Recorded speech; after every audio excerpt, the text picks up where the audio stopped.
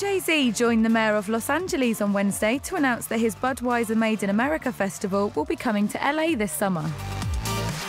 The 44 year old rapper and entrepreneur said he launched the festival in 2012 to blur the lines of musical genres and all walks of life.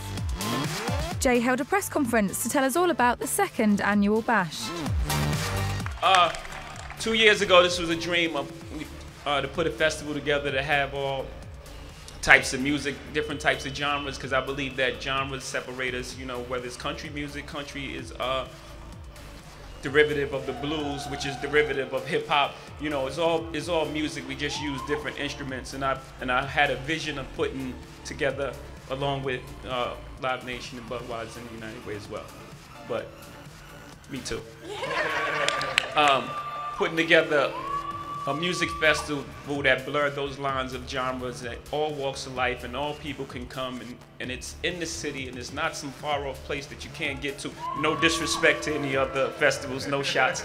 But in the middle of the city, look how beautiful this park is. It's accessible to everyone and it's not it's not it's it's inclusion. It's not exclusive. It's not something that's far away in the middle of the city. And we started two years ago in philadelphia and had huge success.